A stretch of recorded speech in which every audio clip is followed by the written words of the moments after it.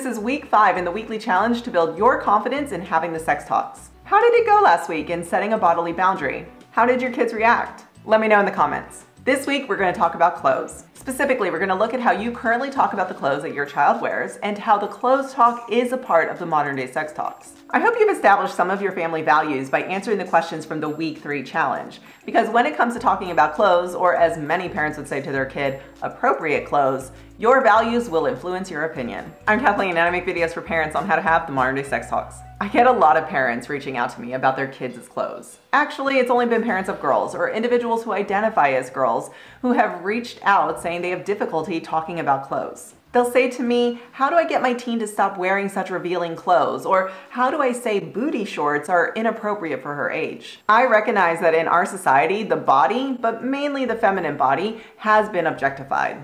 There is pressure from the entertainment, advertising, porn, and fashion industry to dress in a certain way that appeals to the traditional male gaze. If our kids are receiving these messages, yet they don't understand that they're being influenced by these industries to appease these traditional ideals, then trying to have a conversation with them about inappropriate clothes will most likely sound to them like you just don't like what they're wearing. As a society, we have decided that clothes can be an expression of how we feel, who we are, how much we earn, and what we believe. As parents, we know that in our society, people will make snap judgments about us based off of what we're wearing. They'll most likely decide our gender, our approximate age, our race, our social status, as well as our religious beliefs. We know that, but our kids don't. Quick side note here before we get to the challenge. You and I both know that the societal level changes that need to happen around the idea that sex sells or the feelings of entitlement to a woman's body or feminine sexuality or the male gaze are not just going to disappear with one talk with your child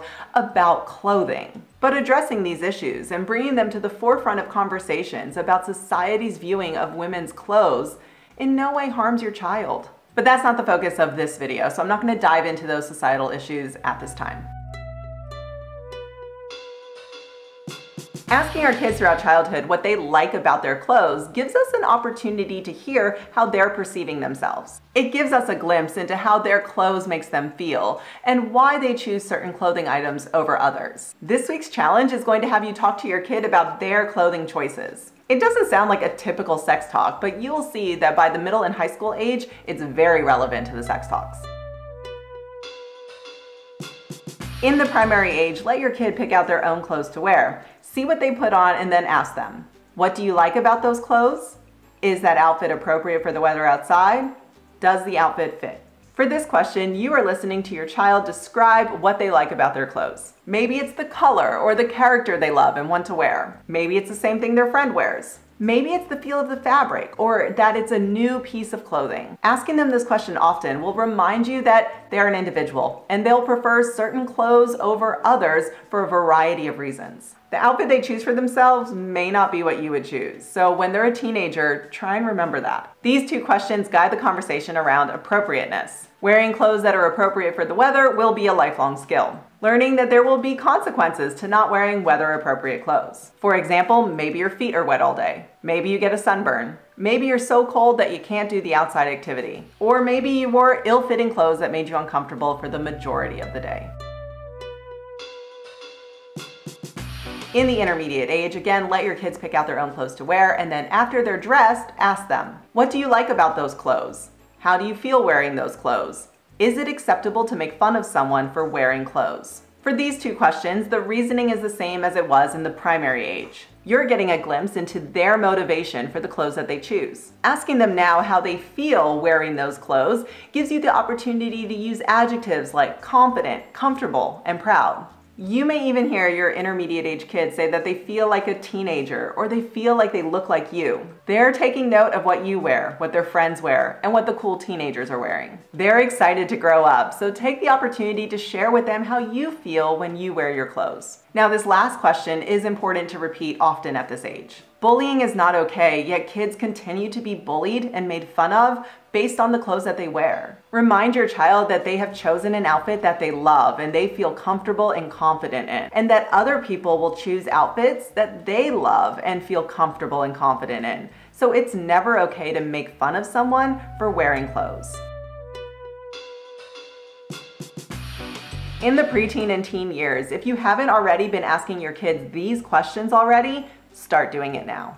Listen to them and don't critique their responses. Feel free to share with them what you like about your clothes and how you feel when you wear it. Now remember, our middle and high school age kids are probably being influenced by the entertainment, advertising, porn, and fashion industries. So if you aren't having candid conversations with them about these industries, they may never realize that they are being motivated to choose certain types of clothes based off of these influences. What snap judgment would a person make about you based off of that outfit?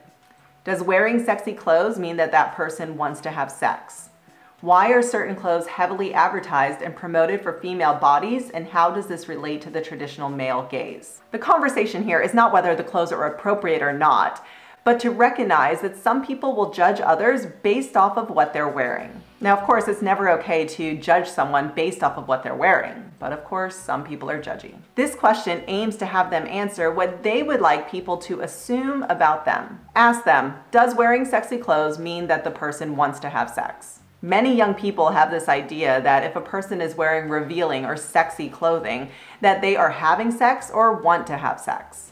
However, people wear clothes for many reasons, and wanting to feel sexy can be one of those reasons. But it doesn't necessarily mean that they want to have sex. It seems like a no-brainer to us adults, but to an adolescent, this can be quite eye-opening. Now, this last question is definitely geared towards the high school age group talking about the advertising and entertainment industries is media literacy 101. And, and we can have conversations about advertising with our young kids, but this question specifically is geared towards the high school age group. At this age, explaining who is creating that ad or movie or TV show helps our kids to understand what is being sold to them and why it's being sold in that specific way. It allows for them to have an introspective look as to why they are choosing to wear something. Are their clothing choices truly an independent choice or are there influencing factors? And if so, what are they? So that's your challenge for this week. Over the next seven days, pick one of the questions based off of your child's age and have a talk about clothes. And or share with your child what you like about the clothes that you wear